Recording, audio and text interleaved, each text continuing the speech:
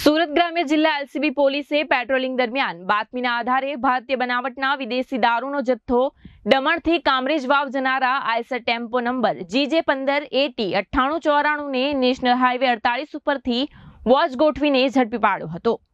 ભારતીય બનાવટના વિદેશી દારૂની છસો એકાણું નંગ બોટલ કુલ રૂપિયા ઓગણસિત્તેર હજાર પચાસ રૂપિયા, એક મોબાઈલ નંગ રૂપિયા પાંચ હજાર, રોકડા રૂપિયા અગિયારસો, આઈસર ટેમ્પો કિંમત રૂપિયા સાત લાખ નાઇટ્રિક એસિડ કિંમત રૂપિયા બે લાખ પાંચ હજાર ત્રણસો આઠ, એમબી એસિડ કિંમત રૂપિયા નવ લાખ પિસ્તાલીસ હજાર અને અન્ય સામાન મળી કુલ રૂપિયા એકવીસ લાખ બત્રીસ હજાર પાંચસો તેરનો મુદ્દામાલ કબજે કર્યો હતો.